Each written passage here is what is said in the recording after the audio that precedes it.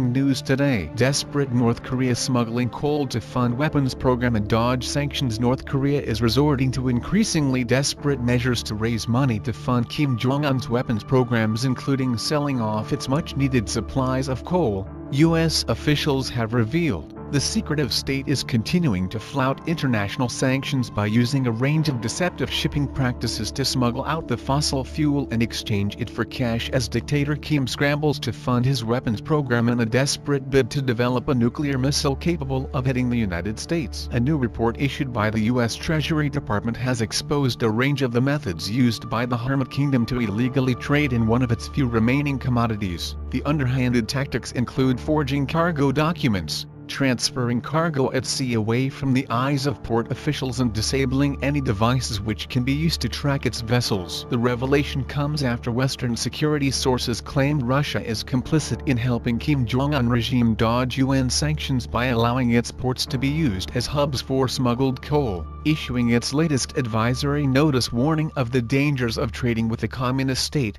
the U.S. Treasury Department says, as the global community increases its pressure North Korea continues to deploy deceptive practices with respect to shipping to evade sanctions. As part of the maximum pressure campaign against North Korea, the United States is committed to disrupting North Korea's illicit funding of its weapons programs regardless of the location or nationality of those facilitating such funding. The North Korean shipping industry is a primary means by which North Korea evades sanctions to fund its nuclear weapons and ballistic missile programs. According to the report, North Korean flagged merchant ships departing from ports in the Hermit State are often disguised as other vessels, with the crew painting fake identification numbers on the hull in an attempt to pass themselves off as different vessels. Kim Jong-un regime is also engaging in ship-to-ship -ship transfers in the East China Sea, unloading cargo from North Korean ships which would likely be subject to extra scrutiny by port officials to vessels registered in other countries which are less likely to be searched. And despite North Korea suffering from widespread and frequent blackouts,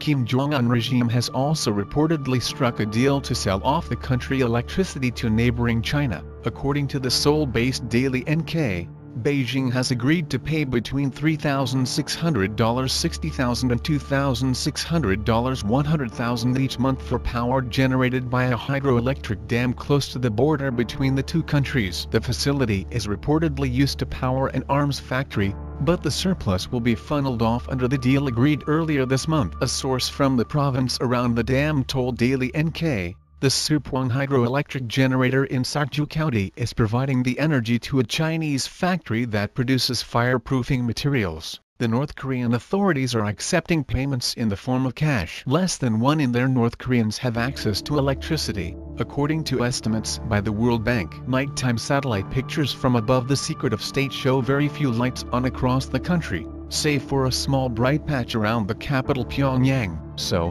what you think about this news please share this news to your social contacts and comment in below comment section. And don't forget to subscribe and don't forget to press the bell icon button next to subscribe button to get daily latest news alert. Thanks for watching this video please keep your support always.